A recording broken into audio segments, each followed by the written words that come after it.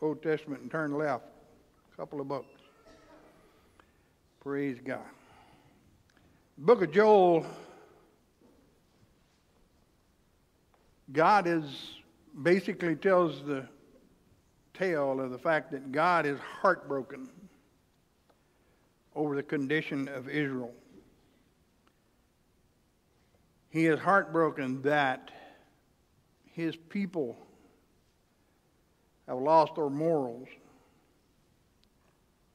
that crime is rampant in the nation, that the land is full of violence, that many of the roles have been reversed. That that is evil is called good, and that that is good is called evil. God's heartbroken. We need to always pray that the things that breaks God's heart breaks our heart. We need to have the heart of God in all that we do. And when you look at the book of Joel, you have to give you a little Bible study hint here. Some of you probably already know this, some of you may not. I may not everybody may know it. When you're studying the Word of God, you have what's called the theory of double reference. Oftentimes, that that is prophetically spoken in the Bible for that time also applies to the time we live in. And Joel chapter 2 is a perfect example of this understanding. Because here, basically is what he's talking about for the most part in this, in this chapter 2. We're going to try to go through every verse. And, and I'll try to be as, as brief with that as I can. I won't hold you long. Preachers always say that, and then they go and preach what they want to.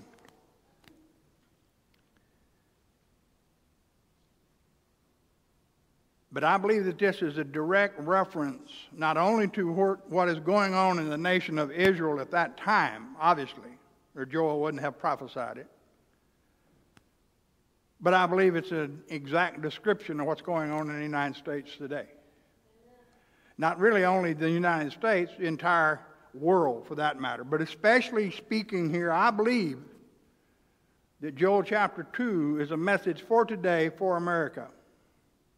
And I'm not getting political here today. I'm not going to get into uh, uh, political opinions on some things, although I may cover some political ideas. It's not that I'm trying to change your way of thinking on things. I'm trying to show you what the Word of God says.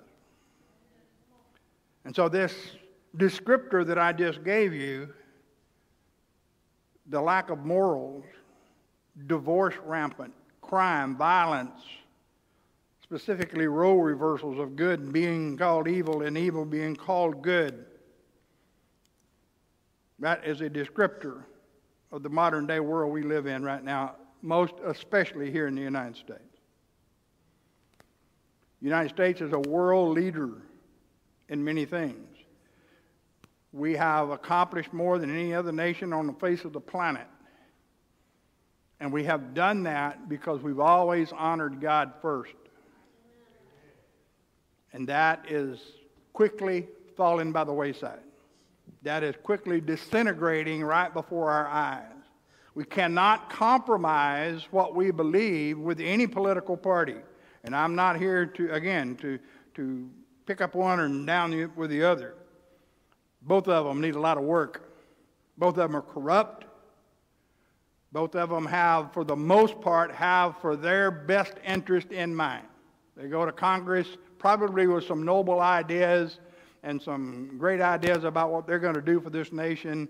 And the corruption is so great in the nation's capital, in the state capitals. The corruption is to a level that you cannot imagine. And I'm not including everybody in that, but I'm going to say probably 90% of the government is corrupt.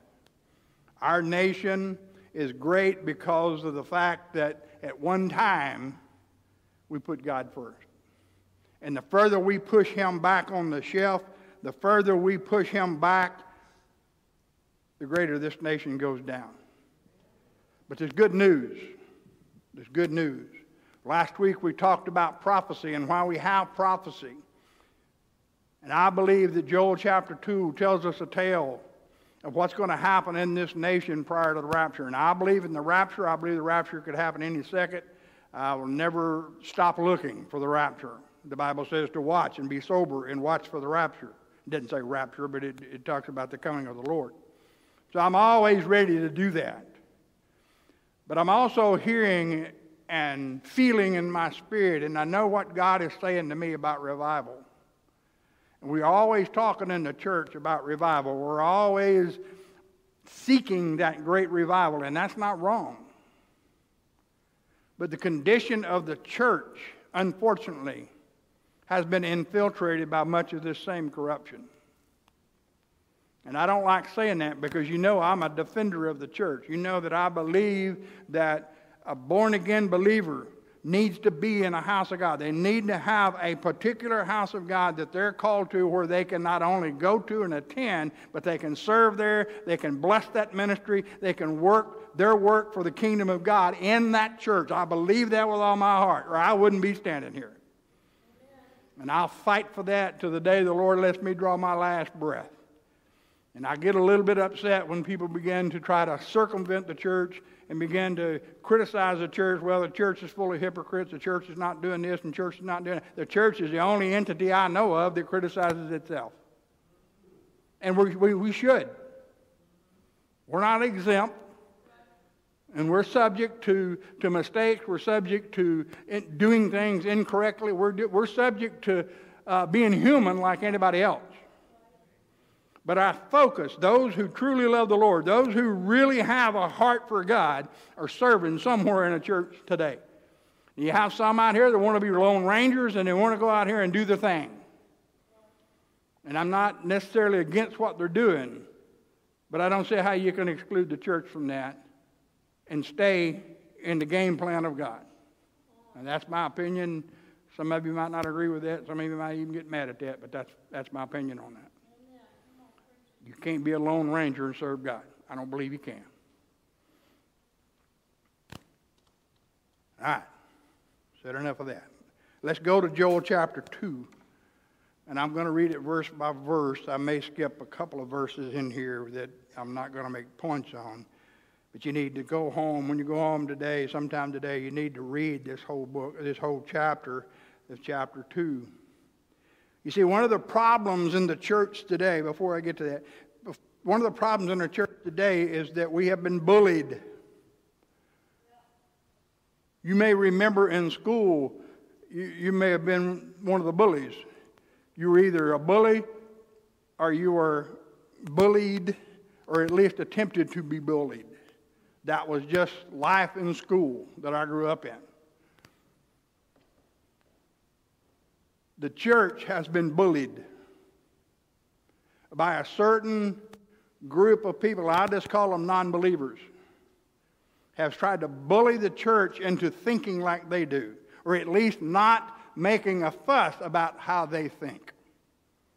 And that's why you have much what's going on in this country right now that you have going on. That's why things are getting so ridiculous.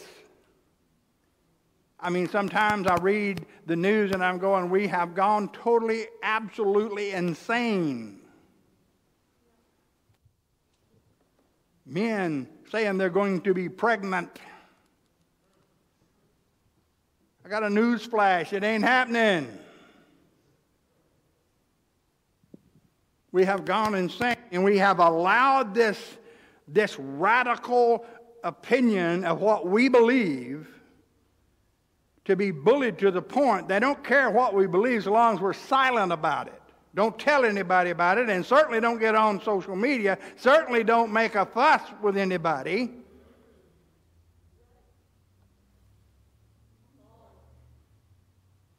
We've been bullied.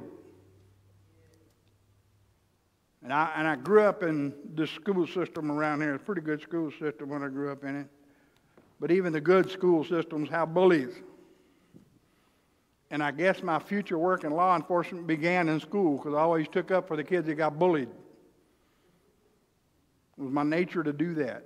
I would go out on a, on a playground and I'd look, and if I saw a kid by himself, I'd go over there and try to be his friend. I'm not boasting on myself, I'm pointing out something here. Bullies do the same thing. They look for somebody that they can push around, they look for somebody that they can impose their will upon them. And that's not right. And it's certainly not right for the church to allow that to happen to them. Because when they begin to bully someone, the first thing that person does is they withdraw. They withdraw from everybody else. They withdraw from maybe even their parents, the teachers, their, their lessons. They withdraw all from all of that. They withdraw into a shell, and that's where the church has been pushed and pushed and pushed and pushed till we were just about saying, now, wait a minute. Enough is enough. Something we should have said 30 years ago. Enough is enough. And I'm not talking about going out here and being radical and, and, and, and, and causing riots and that type of thing. That's not going to solve anything. But we got to stand up for what we believe. We got to, we got to make sure that what we believe, we don't back off of for nobody. Just like that bully, you just look him dead in the eye and go, Well, you're going to have to do what you got to do because I'm going to do what I got to do. Bullies can be stopped. Bullies get stopped when you stand up to them. And the church has got to start standing up. I am going to get to Joel chapter 2, verse 1.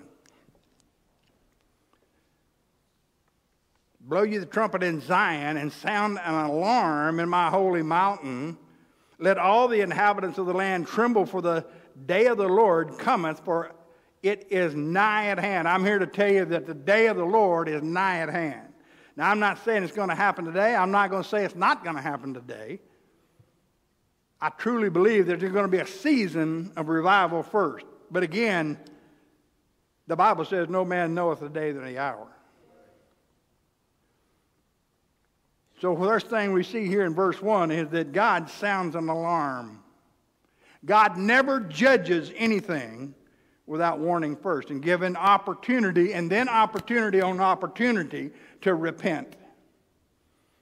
When judgment comes, God always allows a season to allow them to repent. He even gave Jezebel, the spirit of Jezebel in Revelation, he said, gave her time to repent. We're in that time right now. It's time for the church to repent. Okay, we've made some mistakes. Okay, we've done some things wrong. Okay, maybe we hadn't been as strong as we needed to be. But we repent of that and we stand waiting, Lord God, on you to do what you want to do. You see, he's not going to come back for a church that's all separated and all messed up, all weak and full of strife and conflict. Yes, I'm talking about the church. You see, that kind of church knows about the power of God, but they don't have a clue how to use it. Bible says they have uh, a knowledge of power, but deny the use thereof.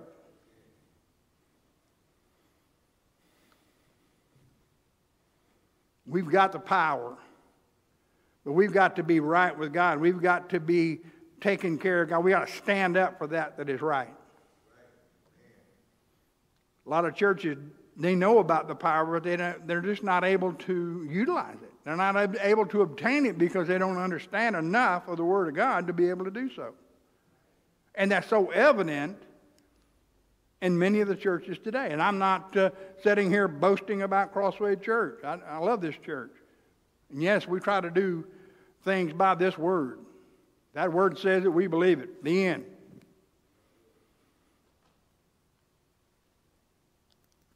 But the power is already there. You can have all the power in the world to stand up to a bully, but if you don't use that power, then that bully's going to have his way. A church is divided right now. That's the truth of the matter. Verse 2 A day of darkness and of gloominess, a day of clouds and thick darkness, as the morning spread upon the mountains. A great people and a strong, there hath not been ever the like neither shall there be any more after it, even to the years of many generations. If that's not talking about the United States, I don't know who is. The United States is in relation to, you'd have to do a comparison kind of thing. The nation of Rome was very powerful during its day. Babylon and, and Greece and all the great nations of the past were great. But it says here, great people and a, you see, most of those nations are great because they had great armies. And they had some leadership that was, mankind would say was great. But it says here in chapter verse 2, it says, a great people. Now, why are we greater than anybody else? Not because we're better than anybody else, but we're greater than anybody else is because of what we've been able to accomplish, because we've had God taking his place in this country. Something that no other nation has ever done outside of the nation of Israel. Not to the extent that the United States has. Now, there are some that had other gods that they've certainly put on a pedestal. But if they're not real gods, that's pretty useless. We serve the only God there is, the only real God. America is strong today as a result of that. And those next uh, 10 verses make reference to that. Verses uh, uh, 3 through 11. I guess that'd be nine verses, eight verses. They make reference and make you understand that we could very easily be talking about a double reference here in the United States in the present age that we live. He's giving, he's giving us an opportunity as the church. He says, I'm put, I have put you in place. I have placed you in a place of authority. I've given you godly authority, and you're not using it. And he tells us in those verses there, he says, call a great assembly together. In other words, go to church. Go to church. You can't represent God staying at home on Sunday morning. You can't represent God when you're at the football game on Saturday morning or you got a little league game going on and parents are taking their kids out of church to go play little league baseball. And ain't a man in here loves baseball any more than I do. But when I coached, you didn't, you didn't play on Sunday, you didn't play on Wednesday nights. But you see, that's how things have changed. You go right now, and they're, they're playing soccer over there at Wallace Field, I guarantee you. It doesn't matter what the sport is, it has no place being in front of God. He says, call a great assembly. Bible makes reference to assembly, and that usually means gathering in a house of worship. And people just ignore that. If I don't fit their agenda, then I'll just, you know, I don't need to go to church. I'll go out here and under that tree and do church. Like my neighbor told me one time. He said, I can have church underneath that tree. I looked him dead in the eye and I said, You ever had church under that tree? And he said, No, I haven't. So you're not going to church. You're not having church. The church can't be strong if we don't stand upon every principle of that word. We can't discount what we don't like. We can't discount what is inconvenient. We can't discount what might cost us something.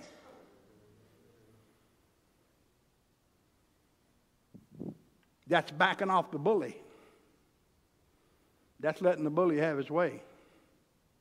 Well, you don't do that no more, and you're backing up all the time. He ain't gonna, he ain't gonna put much work, stock in what you say.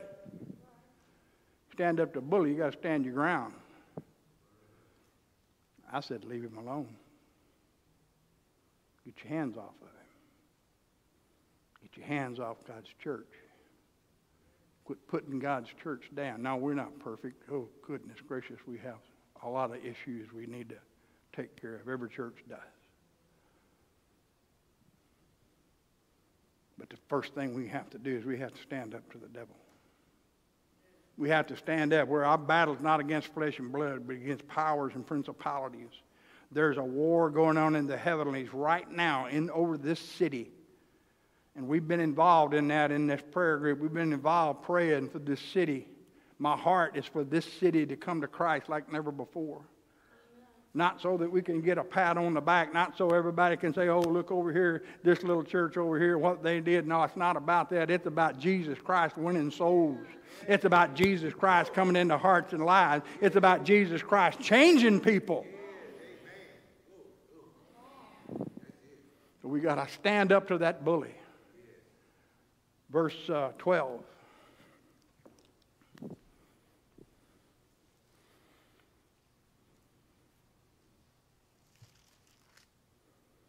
Therefore also, saith the Lord, turn ye even to me with all your heart, and with fasting, and with weeping, and with mourning, and rend your heart, and not your garments, and turn unto the Lord your God, for he is gracious, merciful, slow to anger, and great of greatness, great of kindness, and repenteth him of the evil. He gives us space to search our hearts we just did that a moment ago. But that's something we should do every day. We should be searching our hearts. Okay, God, what is it in me that's not right? Lord, I know I, I know I love you. I know I'm saved. I know I'm on my way to heaven. I'm, I'm doing the best that I can do. But search my heart and show me what I can do better. Because if you get too proud for yourself, if you get too proud of who you are and what you're able to do, and you spend more time patting yourself on the back than you do getting down on your knees, then there's a lot that needs work there. There's a lot that needs work in all of us. Because no matter what you give God, He wants a little bit more. You might say, well, He's kind of selfish. Well, He is when it comes to you. He loves you that much. Because whatever you give him, there's going to be a blessing on it. Verse 14 Who knoweth if he will return and repent and have a blessing behind him, even a meat offering and the drink offering unto the Lord your God? Blow the trumpet in Zion, sanctify a fast, and call a solemn assembly. Go to church. Call a solemn assembly. That's not a suggestion, that's a command. Gather the people, sanctify the congregation, assemble the elders, gather the children and those that, that suck the breast. Let the bridegroom, bridegroom go forth in his chamber and the bride out of her closet. And let the priests, the ministers of the Lord, weep between the porch and the altar, and let them say, Spare thy people, O Lord, and give not that inheritance to reproach, that the heathen shall rule over them. Wherefore should they say among the people, Where is their God? You read that again, verses 14 through 18. That's exactly what the church needs to be. That's a message to the church. You see, the non believer doesn't read that. He's not going to read the Word of God anyway. He ain't got time for it. He's too busy playing soccer. I ain't got anything against soccer except it bores me to tears. You get my drift. Those verses tell us what we're to do. And we're trying our best. I believe in my heart we're trying our best right now to do that here at Crossway Church. But we have to get everybody on board. Everybody has to, to want to be part of that. You see, I can talk you into doing something, but if I talk you into it, then you ain't really got your heart in it.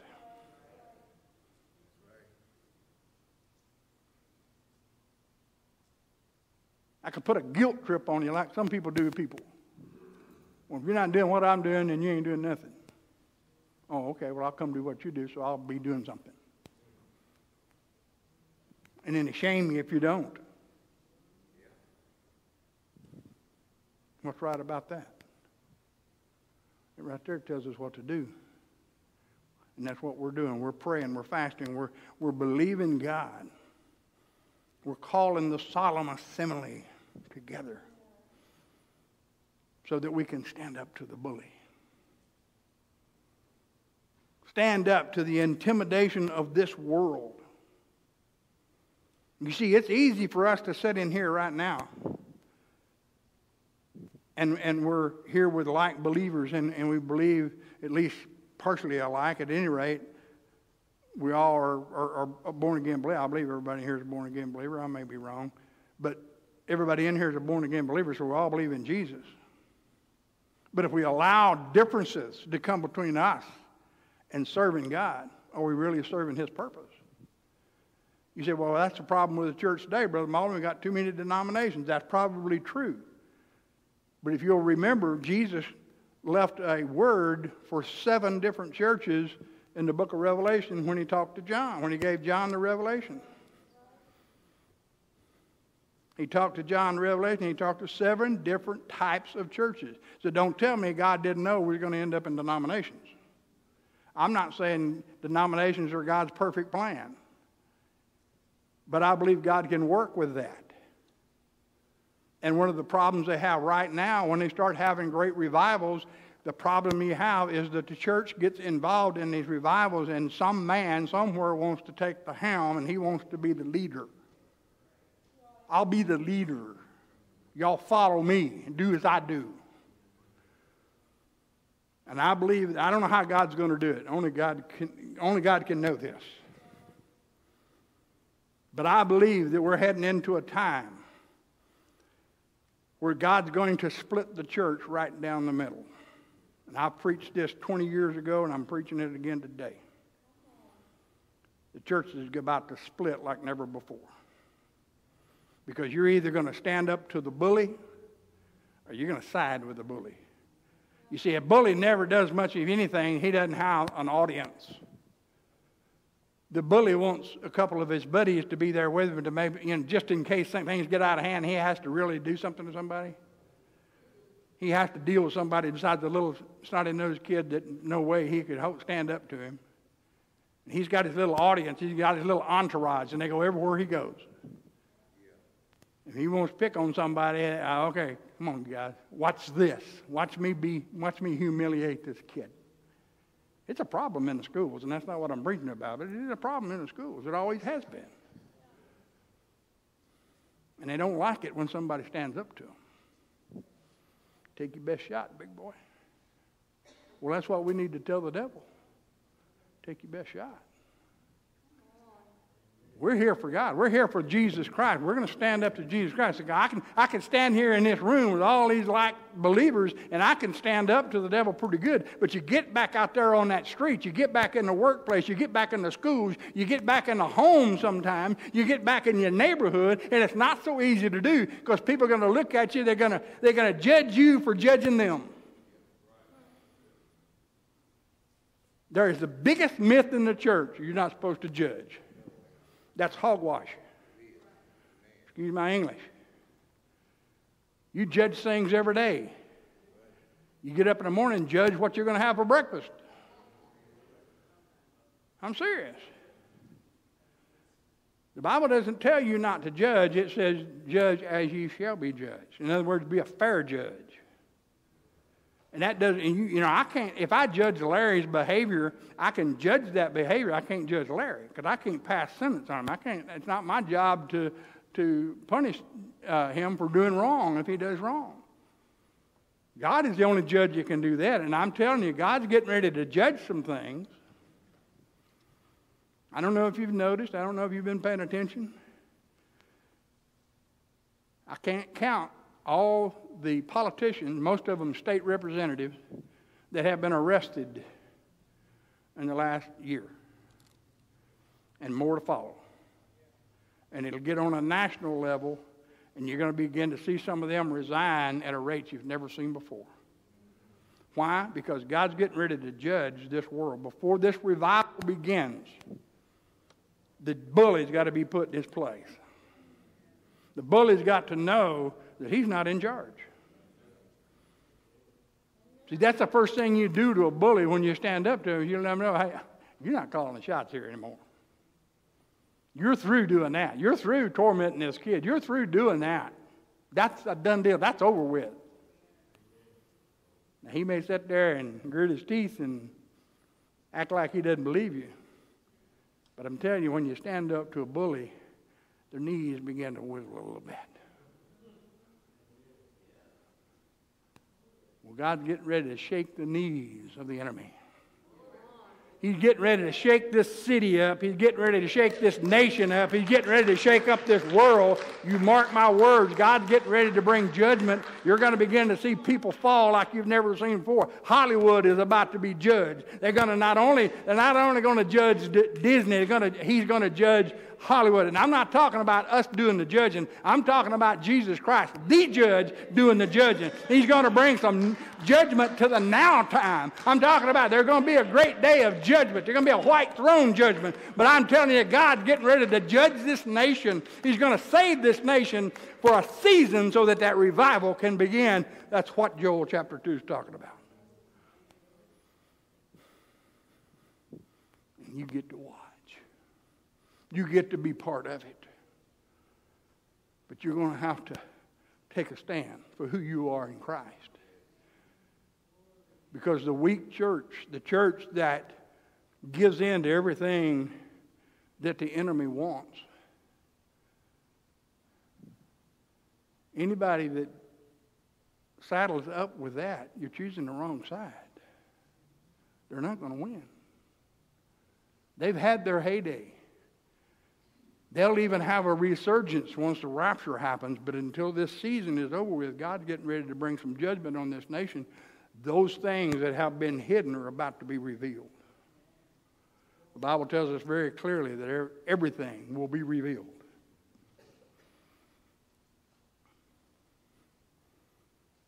Going to be some very well known names that are either going to pass, and I'm talking about dying or they're going to be fired, Are they're going to be arrested, Are they're going to resign. Mark my words. Mark my words. There's going to be a, a shaking of this nation like never before. Now, I'm not speaking from my own prophetic sense. I'm speaking what I've heard. I can't count how many prophets have said that very thing, but I feel it in my bones. I feel it in my bones. I feel what they say. See, I don't just believe everything everybody says, but the Bible says that God doesn't do anything that He doesn't reveal it to His prophets first. If you're following a prophet, just make sure he's a true prophet, and not some procrastinator out there. Prognosticator, not prog. Said that wrong.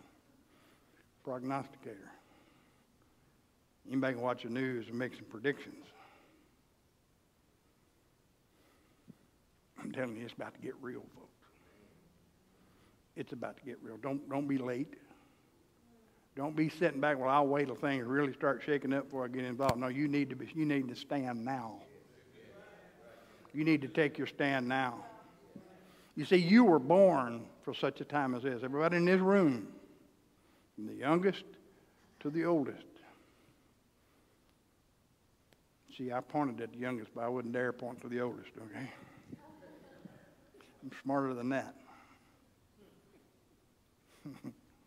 from the youngest to the oldest, we've got to take a stand. You say, well, uh, you know, I, what can I do? First thing you can do is you can believe that Word of God. Second thing you can do is you can make yourself part of what that Word of God says to do. Doesn't mean you got to get out here and, and do a particular thing. It means you obey God in all that you do.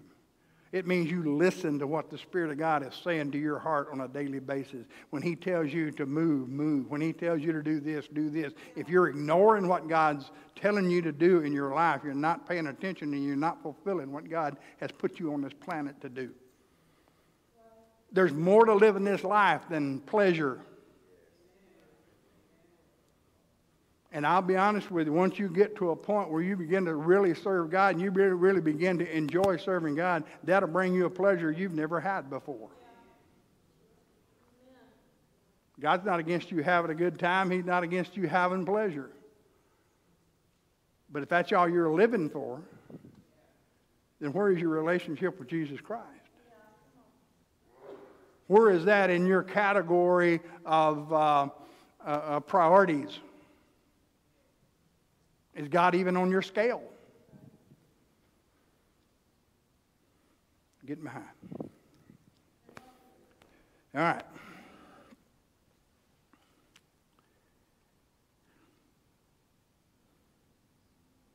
Verses 18 through 22, and I'm not going to read them. I'm running out of time here already. Basically, God will have pity on you no matter where you've been or what you have or have not been doing. God is a, is a long suffering God. This preacher wouldn't be standing here if he wasn't a long suffering God the times that God dealt with me throughout my life that I would not surrender to Him, He waited and He waited and He waited on me. And I can't ever thank Him enough for that. But sooner or later, sometime God runs out of patience. I don't think He ever runs out. Let me re say that. I don't think He ever runs out of patience, but He says, that's it. That's, that's enough. You see, that's where He's at with this nation. That's enough. He's given this nation time to repent, and this nation has done nothing but get worse and worse. And we're still one of the greatest nations that ever was. But something's going to happen. Verse 23, let's skip down there real quick. Be glad, be glad then, the children of Zion, and rejoice in the Lord your God, for he hath given you the former rain moderately. That's what we're in now, the moderate former rain and he will cause to come down for you the rain for the former rain and the latter rain in the first month. And the floors shall be full of wheat, and the vat shall overflow with wine and oil, and I will restore to you the years that the locust hath eaten, the cankerworm and the caterpillar and the palmer worm, and my great army which I sent among you and ye shall eat in plenty and be satisfied, and praise the name of the Lord your God that hath dealt wondrously with you, and my people shall never be ashamed. He's talking in double reference here to the church of today. All of this about the wheat and the wine and the oil, that is a reference to prosperity. There's going to be a window here, there's going to be a season that God is about to pour out his spirit upon this earth. He's about to pour out his spirit upon all flesh. And the result of that is going to be an unprecedented revival in this country. The people that probably would have never gotten saved before will be coming to the Lord. So, those lost loved ones that you've been praying for, don't ever give up. I told the prayer group last Tuesday night, we prayed, and I felt something shift. I felt just the atmosphere of the room shift. And since Tuesday, I've seen prayer after prayer answered. I'm talking about prayers that I've prayed for months, years. And God made it happen. Not only for me, but for other people in other circumstances and situations as well. There was a shifting. There was like, okay, God says, okay, now's the time to begin. You never want to miss out on the beginning of a race because if you do that, then you're going to be always trying to catch up. We're here for the beginning of the race. The shifting is taking place right now. It's shifting in this town. You see, there are strongholds in this city. I've lived here all my life. And all my life, I've tried to get out of here. And it just never worked out that way. Till finally, one, God, one day, God told me, He said, You've never been able to get out of here because I didn't want you to leave because this is where you're to minister. And so I got to thinking, well, if this is where I'm to minister, then God must have a plan because I'm not seeing it right now. My eyes were not beholding the plan that I think God has. But that's what faith is all about. And He's telling us here that the latter rain will be supplied. Latter rain makes reference to the harvest cycle in Israel. The former rain comes and, and, and it uh, uh, anoints the seed that is in the ground. And then there's a growing season, and then right before harvest time, there's another rain that comes. The latter rain comes, and when that happens, the harvest just gets a boost. And the harvest is ready to be harvested. If this world ever needed a great revival, it's now. There have been other great revivals in the past, and they've all served a particular purpose. God doesn't do things arbitrarily, He doesn't just sprinkle a little here and a little over here. Everything God does is meticulous, planned out, and a purpose. When you read the Bible and you read all those uh, uh, so and so beget so and so who beget so and so who beget so and so, all of that's for a purpose and reason. It's not just thrown in there for fodder. Everything in that Word of God is written there. Every, every period, every comma, every translation that is decent translation at any rate is, is translated that because every word is important. God's getting ready. He said, the time of the bully is going to be set back. Now, I'm not talking about the tribulation period. There, will be a tribulation. I believe in the rapture, and I believe in a seven year tribulation period that the church won't be here for. I believe the church will be out here for that. Okay, that's my belief. If you don't believe like that, that's your privilege. You believe it any way you want to. You can even be wrong if you want to. But I believe that this season is the season we're in right now. Well, how long is it going to last? The Bible doesn't say. No one knows the, know the uh, day or the hour. So we don't know how long it's going to last. But it's just like harvest season. When it's time to harvest, you don't take a vacation. You don't go to Florida while your wheat's about ready to be harvested. You set everything aside, put all your games aside. It's, it's you know, unless you're a church going man, it's pretty much a seven day week. Every week until the harvest is done. That's the season we're in right now. We're in a season of harvest. It's getting ready to harvest. What do you do when you get ready to harvest? You get all your equipment. You get everything that God's provided you with, and you prepare it. Every spring, I had to bring out the old lawnmower, got to sharpen them blades. You got to get that lawnmower ready to harvest that grass. Y'all know me and my mowing. But you can't just go out there and jump on that old lawnmower and expect it to crank. It's been setting up. I wonder it might need battery charge. There might be need some oil in that thing. You have to prepare. That's where we're at right now. Get your equipment ready. Let's let's move on.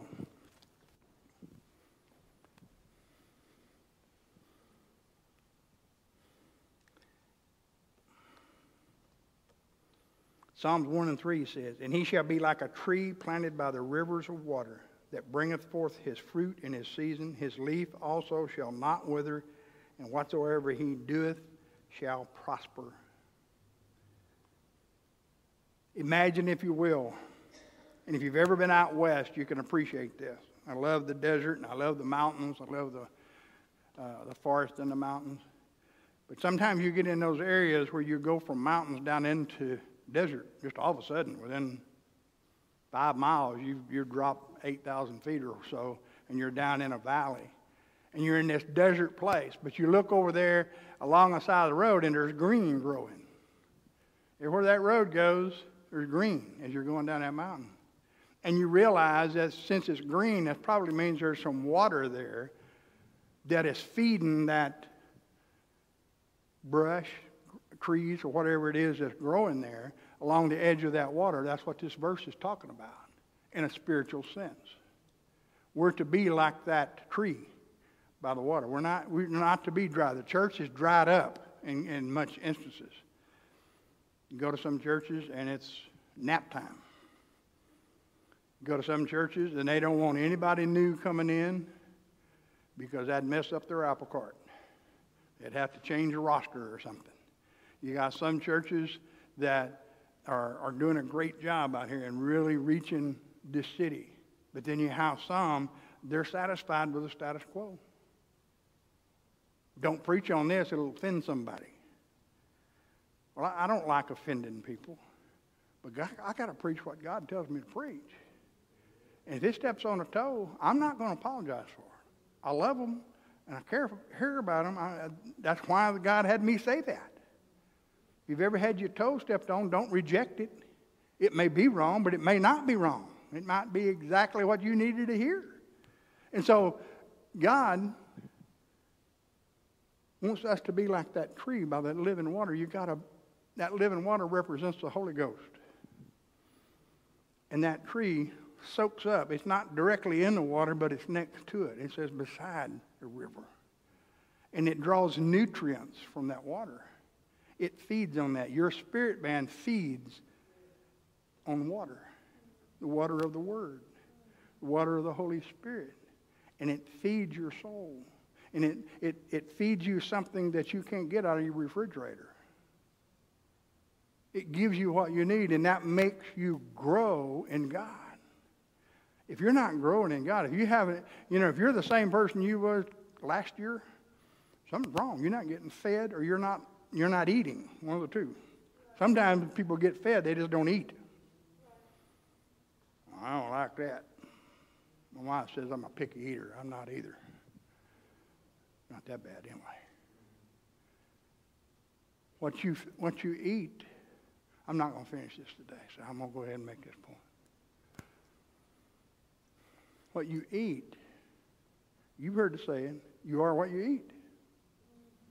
Spiritually speaking, you are what you eat. And if you're not getting fed, you need to be changing your diet, your spiritual diet, and you need to get fed where you can grow, where you can be more of who God wants you to be. Because if you're the same person you was last year, you're not growing at all. What would you do if your little four-year-old was like that? You'd take him to the doctor, wouldn't you? He's four years old. He ain't grown an inch all year. What's the matter, Doc? What are you feeding him? That's the first thing he's going to ask you. What are you feeding him? Well, he likes candy. He likes that because it's good and sweet. And, you know, he doesn't really like vegetables and milk and that type of thing. He just wants candy. So we give him candy every day. That's what a lot of churches are. Serving nothing but candy. Y'all, y'all know me. Ain't a person on the planet likes something sweet any better than I do. But as big and dumb as I am, even I know I got to eat some good stuff every now and then.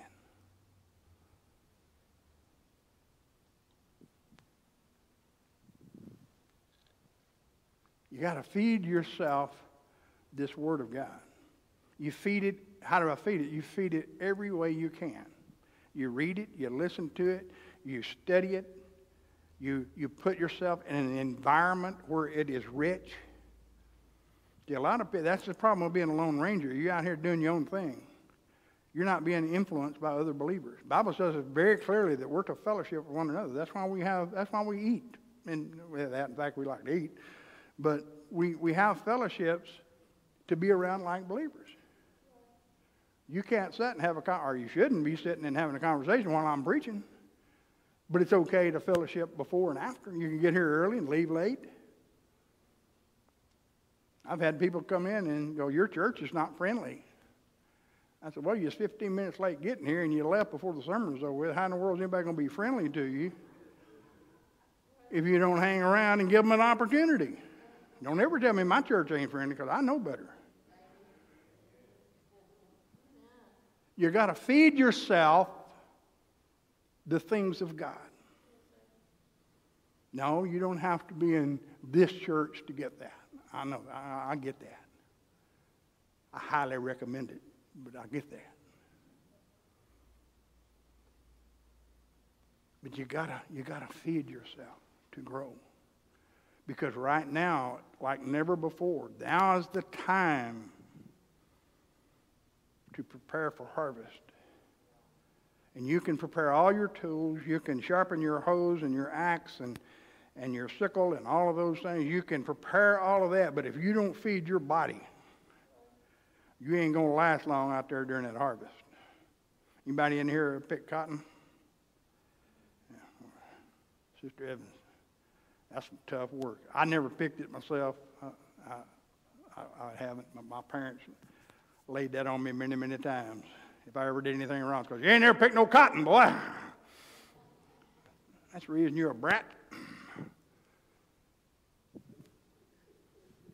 You got to prepare yourself. You ain't gonna get out there and pick cotton if you ain't eating something.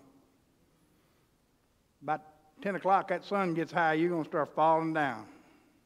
You're gonna fall out. You got to feed yourself.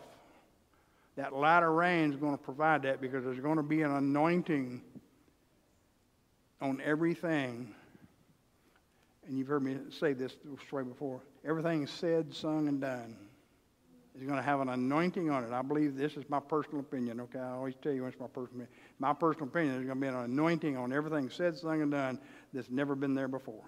It's going to be at a level that is above and beyond because this revival, this outpouring of God that is coming, and it is coming. Brother Mauldin, you've been saying that for years. Yes, I have. I've been believing it for years. And guess what? I still believe it. God tells me something, I take him at his word. He's never lied to me yet. He's never let me down. He's never left me nor forsaken me. He's always been straight with me, and if I'll just listen to him, he'll tell me the truth. And he's told me that this revival that is coming is going to be unprecedented. In other words, there's never going to been one like it before. There will never be another one like it since. Get ready. Get ready for some latter rain. Get ready for some things to change. Get ready for an environment that is going to be primed for the move of the Spirit of God like we've never had before. Now, I apologize I didn't get through this message today, but I'm going to come back and we're we're going to get through chapter 2 of Joel here because there's so much more, so much more that we need to cover. I'm excited about what God is doing. I want you to be excited. I want people to be on board with what God wants to do, not on board with what I want to do, but on board with what God wants to do. We here at Crossway Church, we're a, we're a small group of people. But stop counting the numbers that are here to help and start looking at the numbers that we can reach because we can do it. Amen? We just, you, did, you don't have to do what I say. All you got to do is what God says. And hopefully, me and God be on the same page. Amen? Remind you of the, of the fellowship here in a moment. Let's, let's uh, Deborah, come on up if you would, please.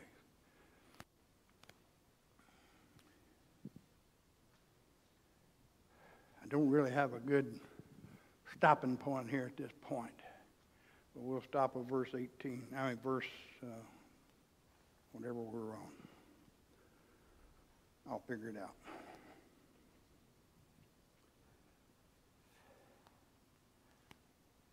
Heavenly Father, we come to you on behalf of Texarkana, Lord God, in this surrounding area.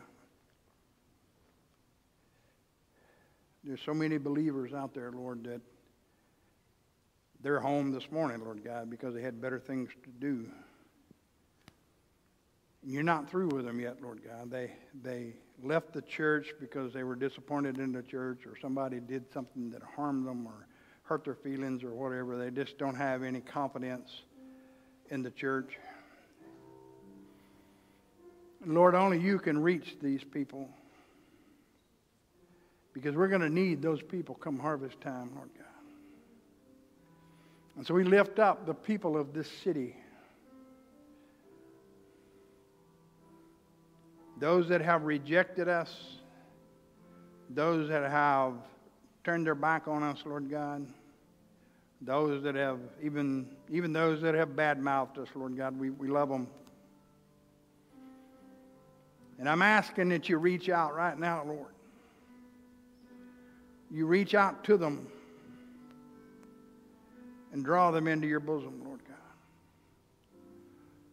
Draw them into this church or another church, wherever, wherever you send them, Lord God, send them. Then they could be part of what you're about to do. That they could be part, Lord God, of this move of God. Don't let them miss it. Don't let them set it out and watch from afar. Tenderize their hearts, Lord God. Let them feel your everlasting, eternal love, Lord God. Minister the sweet things of God to them, Lord God, and woo them back into the kingdom of God, into service, Lord God.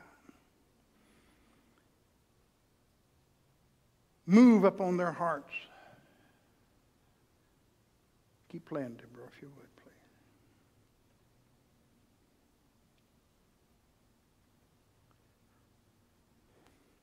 Tenderize their heart, Lord God. Minister to their spirit. Feed them the manna from heaven. Feed them the manna that they need. Because manna is from you, it is the perfect food, totally and completely nutritious to maximize their strength and their help. Move upon this city like never before. I'm going to open